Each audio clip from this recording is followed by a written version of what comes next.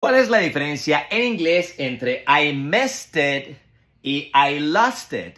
En español decimos lo mismo, decimos lo perdí, lo perdí, pero ¿cuál es la diferencia en inglés? Es muy fácil. Vamos a decir I missed it cuando estamos tarde para algo. Por ejemplo, I missed the bus. Llegué tarde y perdí el bus. I missed the plane. Llegué tarde y perdí el avión. O I missed the class. Perdí la clase. ¿Por qué? Porque llegué tarde. Vamos a decir I lost it, lo perdí, cuando ya no tenemos eso nunca más. Por ejemplo, I lost my wallet.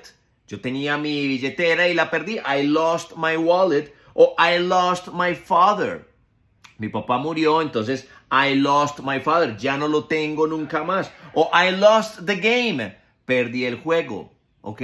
Ya no te perdí la oportunidad de ganarlo. Ahí es la diferencia entre miss y lost.